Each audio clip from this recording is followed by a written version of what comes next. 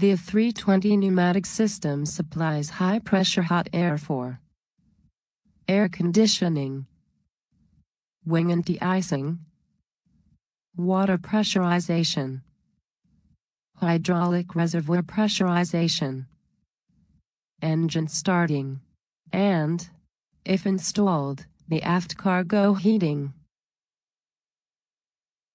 High-pressure hot air can be supplied from three sources. The engine bleed system, the APU, an external high-pressure ground power unit. Note. Wing anti-icing is not permitted when the pneumatic system is supplied by the APU bleed. The pneumatic system is controlled and monitored by two bleed monitoring computers, BMC. There is one BMC for each engine bleed system. Both BMCs are interconnected, and if one fails, the other takes over most of its functions. An ambient overheat in the vicinity of the hot air ducts, in the fuselage, wings, and pylons will be detected by air leakage detection loops. If a leak is detected, a signal is sent to the BMCs, which automatically isolate the affected area. In flight, the primary source for high-pressure air is the engines. Both engines have similar bleed systems. Air is bled from two compressor stages of the engine, the intermediate pressure IP port and the high pressure HP port. There's an HP valve, which can cut off bleed air from the HP port. It is automatically controlled by the system and will limit the downstream pressure. Note, there is a non-return valve at the IP to protect the compressor against a reverse flow from the HP. The high-pressure section, HP, is only used when there is insufficient pressure from the intermediate pressure output, IP, due to the low engine compressor speed. Once the engine compressor speed is high enough, the IP is sufficient and the HP valve closes. The air extracted from the compressor then goes to a bleed valve, which acts as a shut-off and pressure regulating valve. Since the temperature of the bleed air is high, it passes through a precooler before being distributed to the users. The precooler heat exchanger uses cooling air, bled from the engine fan, to regulate the temperature according to the demand. Note, an overpressure valve, OPV, will automatically close in case of pressure regulation problem. Engine 2 has an identical bleed system.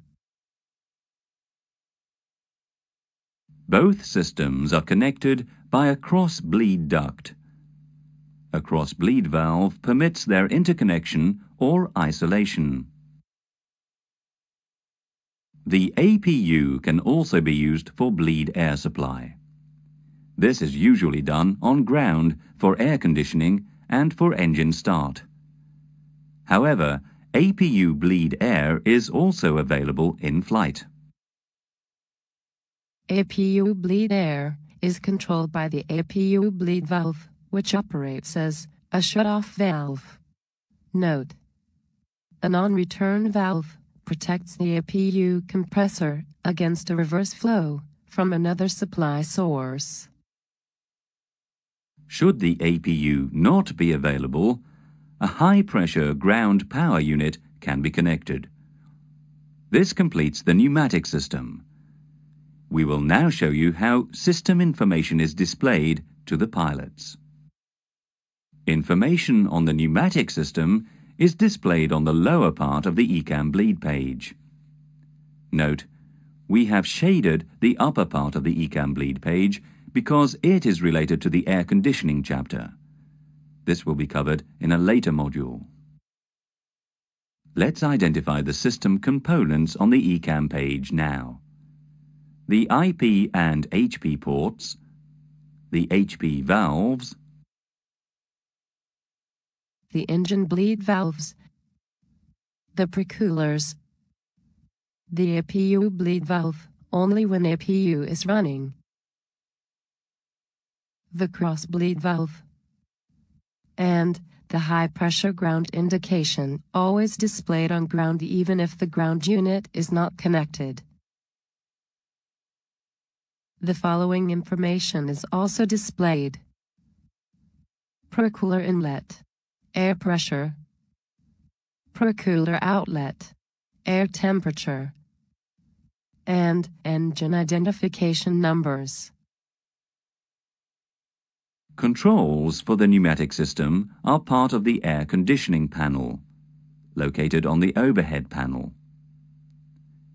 Again, we have shaded the controls which belong to the air conditioning chapter. Each engine bleed valve is controlled by its associated push-button switch on the air conditioning panel. The APU bleed valve is controlled by its related push-button switch. The cross-bleed selector switch enables the pilot to open and close the cross-bleed valve manually or to let the system operate the cross-bleed valve automatically. Usually, the APU bleed air is used to start the engines. The APU is connected to the bleed system. You are ready for engine start. Notice that the engine identification numbers have turned white, indicating that the engines are running. The engine bleed valves remain closed because the APU bleed valve is open, and the APU has priority over the engine bleed. We can now switch the APU off. Observe the ECAM. The APU bleed valve is closed the cross bleed valve is automatically closed. It is displayed amber during transit. The engine bleed valves and HP valves are displayed in line green because they have been automatically opened. We will now talk about the changes that occur in the pneumatic system during takeoff. Note, normally the ECAM engine page is displayed for takeoff. For training purposes, we will display the ECAM bleed page. As engine thrust is increased, the pressure delivered from the IP stages is sufficient and the HP valves are automatically closed accordingly. If the APU is inoperative for bleed air supply, a ground HP air unit can be connected to provide pneumatic pressure for engine start. The ground unit's pressure and temperature are indicated on the ECAM. Notice that, in this case, the cross-bleed valve remains closed with the cross-bleed selector switch in the auto position. In order to start engine 2 first, you have to manually set the cross-bleed selector switch to open. This is done according to a procedure in your FCOM Pro Sup 70 section.